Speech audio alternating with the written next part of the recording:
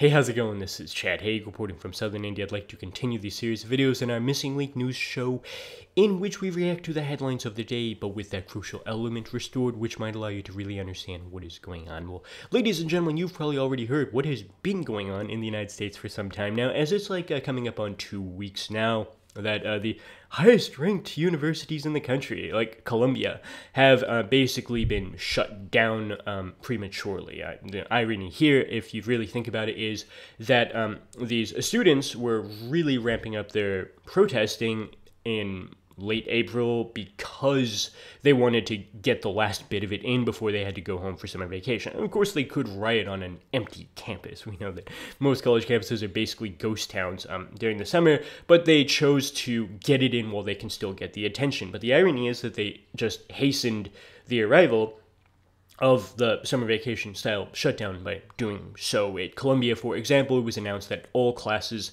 uh, will be held over Zoom for the rest of the school year. So once again, in 2020, when you were paying $70,000 a year at Ivy League universities um, to uh, just watch you know meetings on your smartphone on Zoom or on your laptop with 12 other tabs open that you really really weren't actually participating in these meetings your camera and um, well, microphone were off for the whole time but uh, you were still paying uh, $70,000 a year, once again, to not listen to these classes um, while you were distracted by all the other things on your laptop. Well, we've gone back to those conditions. But whereas in 2020, um, people had to do that uh, because of a virus which we're not even still allowed to mention on YouTube uh, because of the seriousness of the situation of talking about life or death implications of it. Um, this is um, returned now uh, simply because um, the protesters uh, refuse to leave their tents but still want full attendance. Uh, that is right. Uh, the reason why Columbia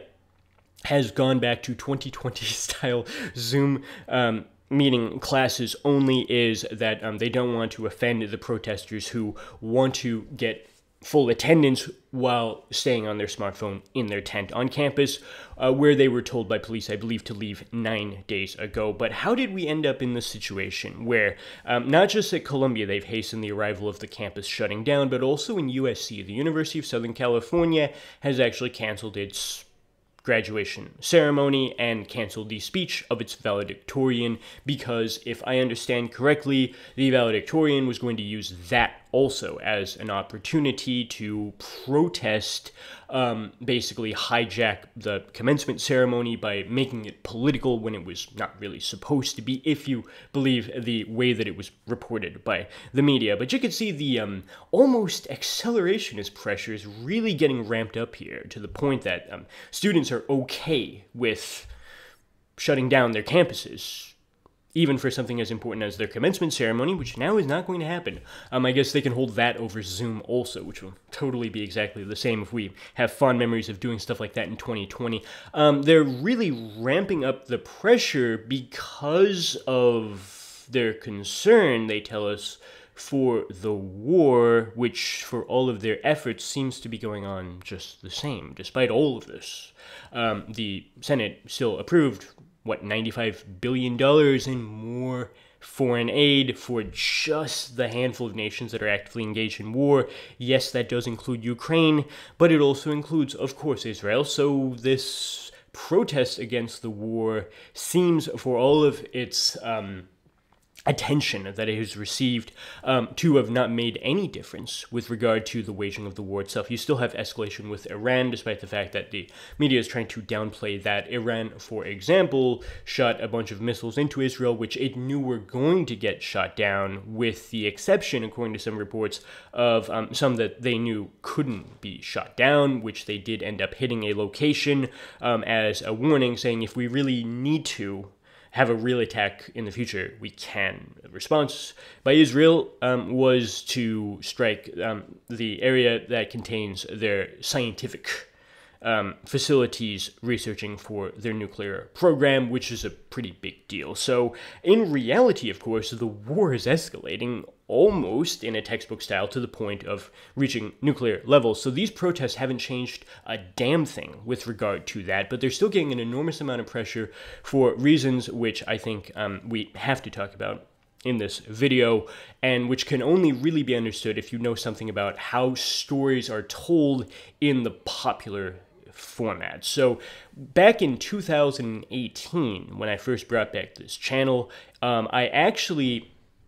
did so, I'll admit now, uh, because I had decided at that time that I was going to be a writer, self published, and not originally intending to do philosophy books as I ended up doing. I was originally planning on doing a, a, philosophy novel, basically, kind of like Dune or something like that, like a science fiction novel warning about the dangers of like Kurzweil style technologization, but in a format which I still thought at that time had to be kind of like. Uh, mass paperback science fiction novel that you might find at like a drugstore, something like that. So I read a lot of books at that time about how to write for popular audiences. I went to the uh, public library there in Oklahoma City and actually went to the you know creative writing section and checked out every book they had on how to write a novel. And one of the things I remember being emphasized at that time is if you look at the formula for how like Hollywood movies are narrated, okay, like the kind of genre of popular entertainment which anybody could follow. Um, one of the things that you have to do, it's like a structural requirement for Hollywood style films, is you have to have a moment in the film when it seems 100% certain that the hero is not going to succeed. It seems that the big boss has gotten so powerful, there's a challenge which rationally you can't even imagine how the hero is going to get out of it. And then, of course, you have to write some way for the hero to still overcome it despite insurmountable odds, and that's what builds up the sort of catharsis required for Hollywood style films. Um, but uh, this is exactly, I think, what you find transferred over to the realm of politics now. I've mentioned in my recent video on Jacques Ellul and um, Technological Society's chapter on state and technique that um, it's actually something of an anachronism to think that politics today revolves around the so-called men of genius that really did dominate in the era of, say, Machiavelli. Machiavelli had to write The Prince to give advice to human rulers about how they could use things like wit, charisma, and intelligence planning social manipulation to maintain their power at a time when it was not at all guaranteed. The prince could easily lose that power at any moment at a time when Europe was basically at war constantly for thousands of years, but that's all totally out of date today. Um, we have this anachronistic belief that politics is still really dominated by men of genius who have to be like Machiavellian in their um, in their uh, intelligence with regard to manipulating the um, situations that they find themselves in. But that's all grotesquely outdated when you realize that everything that happens in politics today is simply a result of the global technological system doing what was favorable to it on Darwinist grounds at that moment. The best thing which human politicians can do is they might accord with it. They might get on the right side of history by doing or favoring the things which the global technological system was going to do anyway, like favoring 68 genders at a time when the global technological system really can't have half the population be male and half the population be female. It needs all of the population to be exactly the same, even if it uses the illusion of 68 genders to promote really a genderless society. So the politicians might at best accord with something the technological system was already going to do, but they certainly can't cause it. They can't be the efficient cause that makes these things happen. So we have a situation in which, in reality, the human politicians are just symbolic figureheads, even to the point that we have a president now who is nothing except the symbol. I mean, he's the symbol of um, an enlightened uh, believer in democracy who favors 68 genders and wants to harshly punish anyone in favor of insurrection. But in reality, he's not even capable of finding his way off the stage when has to go up there for some photo op with some world leaders. The prime minister of other nations always have to escort him off the stage, even if it's fairly obvious how to get like even um, a lower intelligence animal would easily be able to find the exit well the president of the united states brain has deteriorated to the point now where he, he can't even do that um, so we have a president who's actually incapable of doing anything at this point except perhaps putting a signature um, onto a trillion dollar large spending bill. We still have to maintain this illusion that he's not just as powerful as any other president in history, even going back to the times when the Machiavellian man of genius was still sort of a thing in American politics. No, he's actually more powerful than any of them. He's powerful enough to control the weather. If you just pass the Green New Deal, he can stop global warming, despite the fact that um, I can't stop the rain has long been a cliche um, or a metaphor literally referring to um, something which is impossible. I can't stop the rain any more than I can change another um, situation that is beyond my control. Well, we have a president now who actually does claim that he can stop the rain so long as you just give more tax dollars to incentivize people to buy EVs. Even if those EVs end up catching fire in their garages, as the fire department was called to a house there in suburban Denver just a few months ago. I saw on the news all the way here in India because that EV had caught fire, perhaps while it was charging in their house. I'm not exactly 100% sure of the circumstances, but I know that that did happen. But at any rate, we have a president who claims um, to be so much more powerful than any other president in the past that uh, he can not only change the weather, but he can also stop recessions from happening even after the world's leading economists claim that one's going to show up. Remember the um, much anticipated recession of 2023, which never actually happened. Well, um, the reason it never happened, despite the fact that, like the um, you know uh, science fiction or Hollywood style story, Big Boss seeming insurmountably powerful and then somehow still being overcome by the hero, the recession, which they predicted was certainly going to happen, was avoided not because Biden is so much more intelligent. Um, or powerful than it, but rather because the um, Fed already knew beforehand that it had a way to get out of it, which was just to ramp up their gov- funny money government spending to levels before not seen except in the case of like world wars. In American history, for the long term, you never had government spending or borrowing so out of proportion to the GDP itself, so much larger than total GDP, unless you were like literally in World War II okay, and um, um, doing what you had to in an actual emergency situation um, for the sake of um,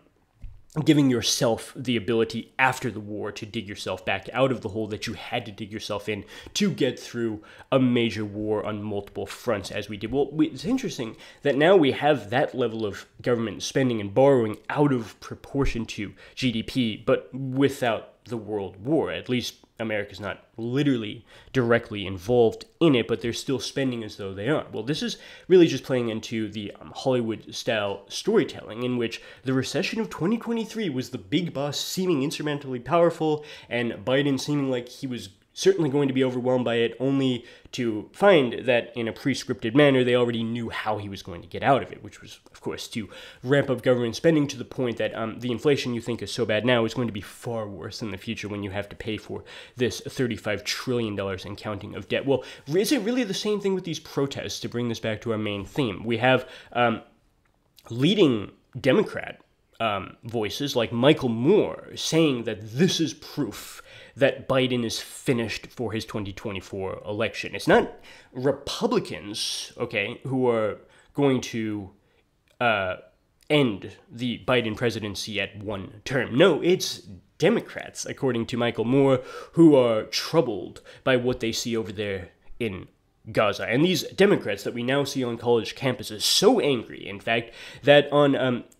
the campus of Yale it was reported that a woman was stabbed in the eye by a pro Palestine protester with their Palestinian flag simply because she was alleged by um, someone in the crowd to be associated with Israel. Maybe she's an Israeli American or whatever. It doesn't even matter if the allegation is true. Supposedly, it has reached the boiling point now where on an Ivy League campus, you could be stabbed in the eye simply for being associated with the wrong country. And it's once again not um, Trump supporters doing this, it's rather people on the far left, if you believe the media reporting. And people like Michael Moore will try to explain this away as evidence that Biden already knows that he has lost the 2024 election, not because people are going to switch over to voting for Trump but rather because in states like Michigan, enough people will simply stay home that the same thing that happened in 2016 with people who didn't bother to vote for Clinton in that state, where, what, 100,000 people left the presidential slot blank, even though they voted on the other things down ballot. Uh, Michael Moore,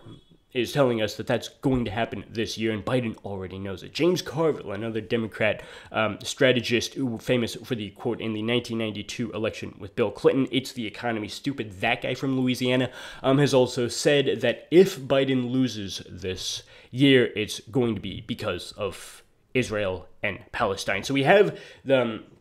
the insurmountable big boss building up, which is Biden's inability to please both sides, as the two state solution uh, has humorously been called Michigan and Pennsylvania. Too many pro Palestine voters in Michigan, too many pro Israel uh, voters in Pennsylvania. Biden can't please both of them. That, rather than any positive attribute by Trump, will guarantee, if we listen to the hyperbolic statements of Michael Moore and James Carville, um, his defeat this November. Well, we all know what's really going on here. This is just the Hollywood movie style narration technique of building up that big boss so big, okay, um, that it will seem impossible for anyone to overcome it, only to find in November after the vote counting has been paused for five days, of course, that virtually every state will somehow go blue, and we will realize at that moment that this man who isn't even capable of finding his way off the stage, who actually has no freaking idea where he is most of the time, was so much more powerful than any other president in past history that not only did he avert the recession of 2023, which seemed inevitable, not only did he um, um, did he escape the fate of a humiliating midterm defeat in 2022, where also, it took about a few days for them to count all the votes in Arizona, Nevada, and other states, but um, he's going to be so powerful that after giving being given an extra five days to count all the votes in the 50 states of the United States, somehow he will overcome that challenge too, despite the fact that the media is reporting now that in all of the battleground states Trump is slightly or significantly ahead, seven points ahead in Arizona, despite the fact that we all know it's absolutely impossible for him to actually win that and these other battleground states. So if you um, think of it from that angle, you'll realize that these protests actually aren't as significant as they seem to be. They're just part of the reality TV show scripting that will make it seem that someone who is incapable of doing anything, is actually the most powerful man in the world, the most powerful man in history, in much the same way that the average technophile consumer today mistakenly thinks that the fact that their smartphone is capable of connecting to the entire world and sort of entertaining them endlessly is proof that they've become so much smarter than all of the past generations. People mistakenly think that because they're surrounded by super complicated technologies, that makes them smarter than all of those primitive peoples from the past who were doing things like farming and blacksmithing, when in reality their smartphone has actually deteriorated their attention span to the fact, point that they can't learn anything, and it has deteriorated their other thinking abilities to the point that it's not an exaggeration to say that uh, the average smartphone user in 2024 is actually less intelligent than any other people within history. They've become the least intelligent, least capable of thinking of all people in world history, despite seeming, on grounds of transitively believing, that all of the complication modern technology was somehow created by their own minds, thinking that that makes them the smartest people. It's actually the exact opposite. And isn't that a macrocosm for what Biden himself has become? The most powerful man in history is actually the least powerful.